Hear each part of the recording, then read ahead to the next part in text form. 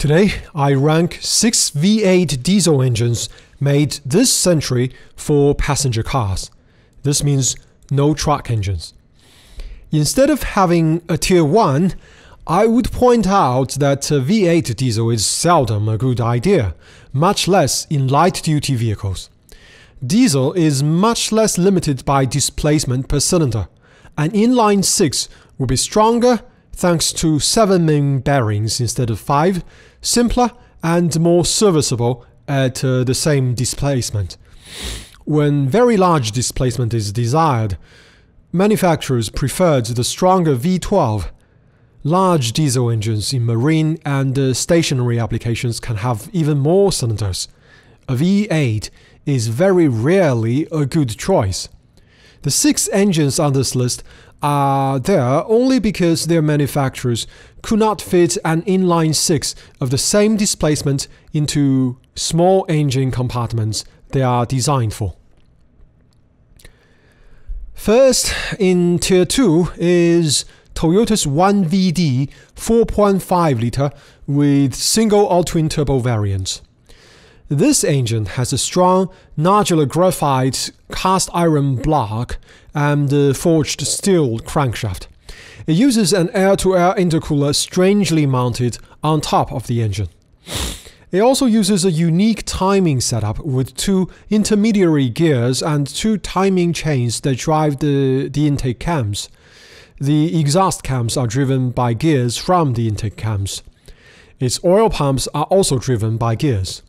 All these make the 1VD rather reliable. Its downside is its limited performance, even in terms of torque output. In my opinion, it still deserves this spot because most engines on this list are simply unreliable. The 1VD is primarily found in the J70 and J200 Land Cruiser. Next up is the bi-turbo V8 made by Ford for Land Rover in the 2000s.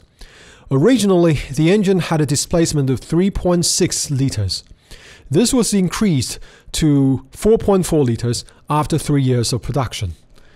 Both were marketed as TDV8, but uh, the 4.4 version is appreciably more powerful and much more reliable. In fact, the 3.6 liter alone should be in Tier 3. This engine used compacted uh, graphite iron block that is lighter yet stronger than traditional cast iron.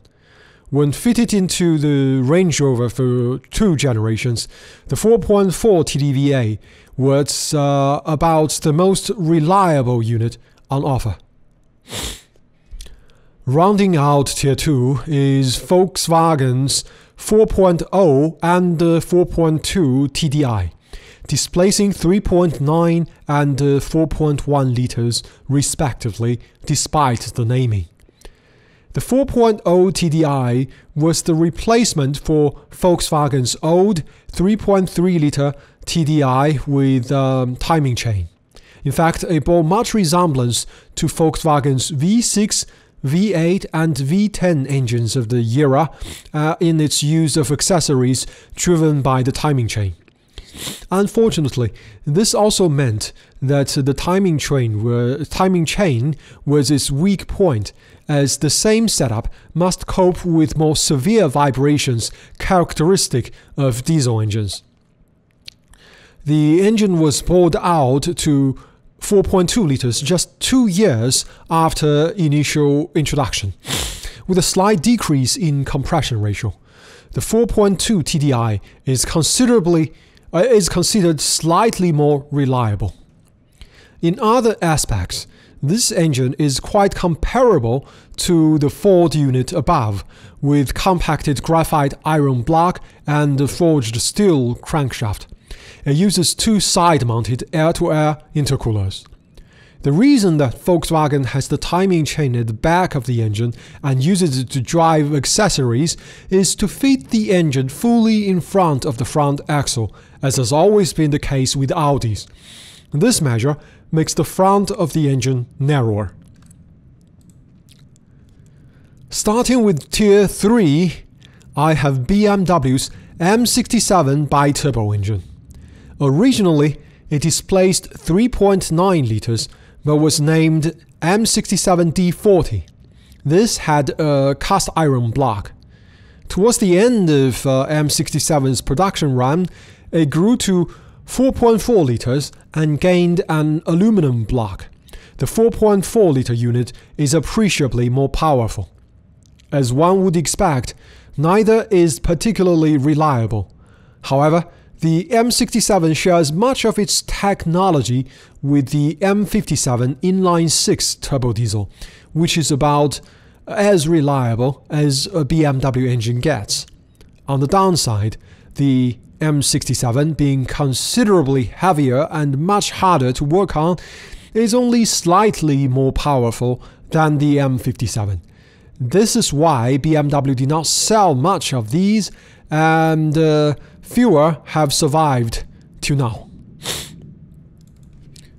Not to be outmatched by BMW, Mercedes introduced its own V8 diesel engine a year later with the OM628. This engine uses a unique 75 degree bank angle in order to fit into the engine bay of the E Class.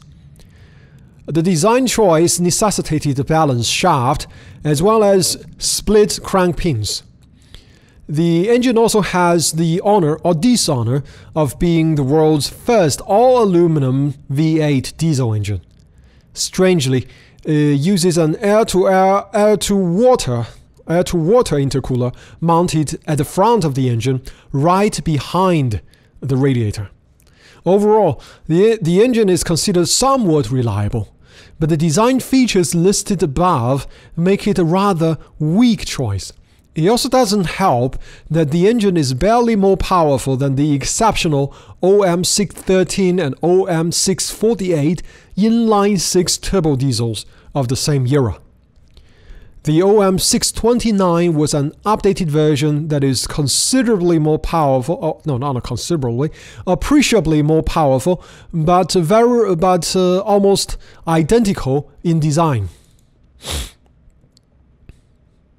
Last is Volkswagen's EA 898 4-liter hot V bi-turbo V8 with 48 volt mild hybrid system and an electric super, supercharger.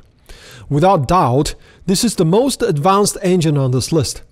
It is the only engine with a hot V setup with inverted heads and uh, turbos between the cylinder banks. It is also the only unit with a 48 volt system. The latter is responsible for greatly simplifying the timing setup of the engine compared to its aforementioned predecessor.